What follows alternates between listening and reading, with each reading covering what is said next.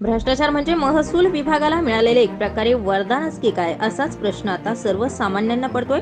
नाशिक जिल्ह्यामध्ये प्रशासकीय अधिकाऱ्यांना एका पाठोपाठ एक लाच घेतानाच्या घटना समोर येत आहे. पुन्हा एकदा त्र्यंबकेश्वर येथील तहसील कार्यालयामध्ये नेमणुकीस असलेले शासकीय वाहन चालक अनिल बाबूराव आगिवले हे दीड लाख रुपयांची लाचेची रक्कम घेताना रंगेहात पकडण्यात आले. तक्रारदार यांनी मौजे शिरसाटे तालुका इगतपूर येथे गट नंबर एकशे शहात्तर मधील शेतजमीन विकत घेण्यासाठी विसार पावती नोंदणी केली होती. सदर शेतजमिनीच्या संदर्भात तत्कालीन उपविभागीय अधिकारी इगतपुरी त्र्यंबकेश्वर जिल्हा नाशिक येथे वाद सुरू होता.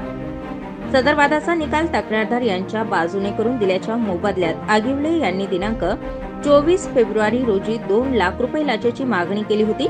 त्यापैकी पन्नास हजार रुपये पूर्वी घेतल्याचंही त्याने मान्य केलंय.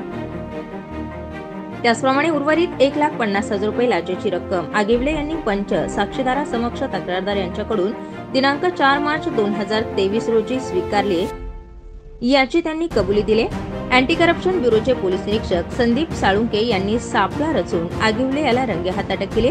यामध्ये पोलीस हवालदार पंकज पळशीकर प्रकाश महाजन नितीन कराड प्रभाकर गवळी यांनी ही कारवाई केली. आहे पोलीस अधीक्षक लाचलुचपत प्रतिबंधक विभाग नाशिक परिक्षेत्राच्या सौ शर्मिष्ठा खारके वालावलकर अप्पर पोलीस अधीक्षक लाचलुचपत प्रतिबंधक विभाग नाशिक परिक्षेत्राचे एन एस निहाळदे नरेंद्र पवार यांच्या मार्गदर्शनानुसार ही कारवाई करण्यात आली आहे. त्र्यंबक तहसीलदाराचा ड्रायव्हर ही डील करायचा तर पन्नास हजार रुपयांची लाच यापूर्वी स्वीकारण्यात आली होती तर दीड लाख रुपयांची रक्कम स्वीकारताना आगिवले याला एसीबीने रंगेहात अटक केली. स्टार ट्वेंटी फोर फास्ट न्यूजसाठी Laxmikant Shinde Nashik.